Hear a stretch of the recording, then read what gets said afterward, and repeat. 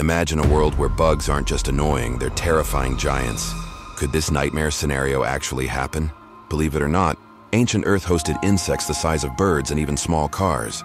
High oxygen levels millions of years ago fueled this incredible growth. Think dragonflies with three-foot wingspans. What if those conditions returned? Our cities would need massive defenses. Forget fly swatters. You'd need heavy artillery for houseflies the size of rats. Backyard barbecues would become survival missions. Luckily, oxygen levels dropped, shrinking insects. But nature is unpredictable. A shift in our atmosphere could potentially bring back the bug apocalypse. It's a chilling thought rooted in real science. Could you survive a world ruled by giant bugs? Hit like if this freaks you out and subscribe to explore more wild science scenarios.